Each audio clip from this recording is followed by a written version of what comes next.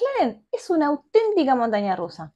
Desde el modesto debut de Piastri con abandono a las pocas vueltas en Bahrein, al top 10 de clasificación en Arabia Saudita, creemos que el equipo inglés todavía parece estar buscando qué lugar ocupa en la F1. Bienvenidos a un nuevo video para Grande Premio en Español.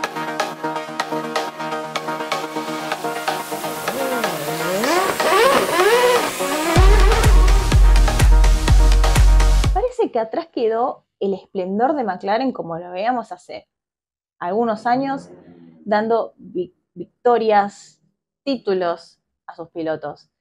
Ahora tenemos cambios de reglamento, rivales más competitivos y pilotos que poco apuestan a trabajar a largo plazo los proyectos del equipo. Y estos fueron los inconvenientes con los que tuvo que lidiar McLaren en estos últimos años.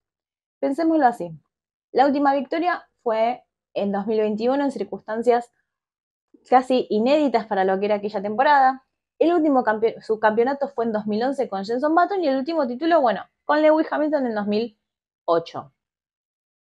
Todo pareciera indicar que McLaren prefiere pilotos que quieran trabajar y apostar a hacerlo en el largo plazo.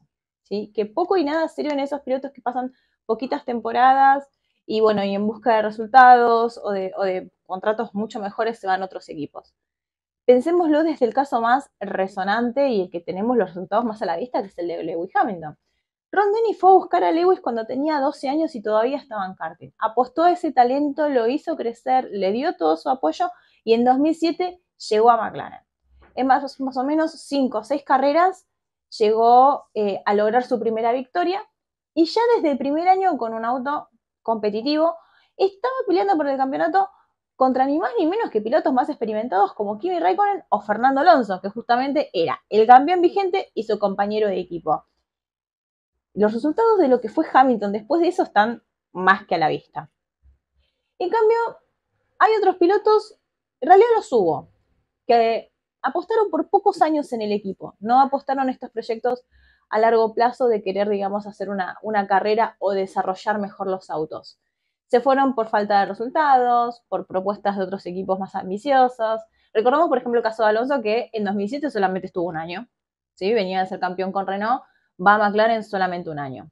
Eh, igual tengamos en cuenta que después en 2015 vuelve, pero no apostó al largo plazo con McLaren. Y en cuanto a los pilotos de este año, podemos encontrar un panorama bastante similar.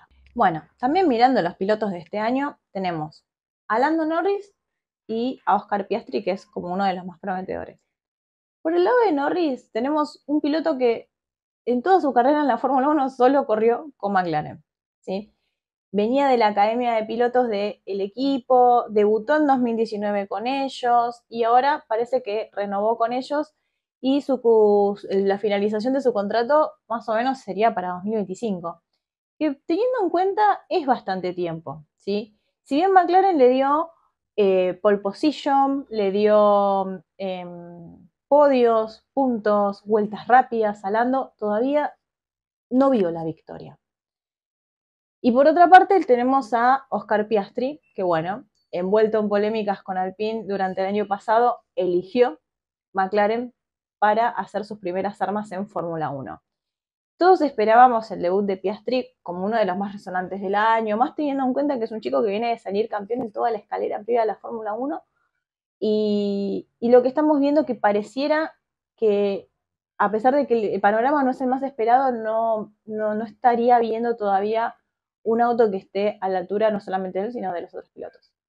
Pensemos que Zach Brown dijo recientemente en algunas entrevistas que no nos ilusionáramos con que el equipo llegue a lograr grandes resultados en clasificación.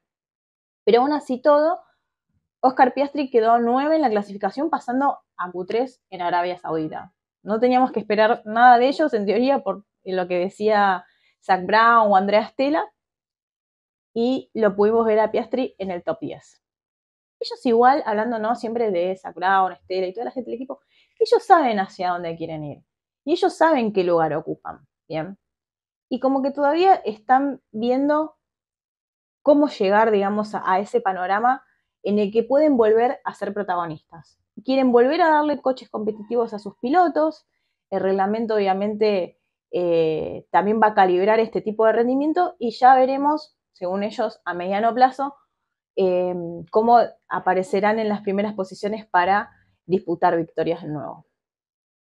Ahora pensemos una cosa. Si ustedes fuesen Zach Brown, ¿qué cambios harían en el equipo? ¿Cambiarían las unidades de potencia? ¿Cambiarían los pilotos? ¿A quién llamarían para el departamento de ingeniería? Los leemos. Si fuesen Zach Brown, piensen qué cambios harían en McLaren para que vuelva a las primeras posiciones. Esto ha sido un video para Grande Premio eh, en español. Mi nombre es Barcho Mincioni y nos vemos la próxima.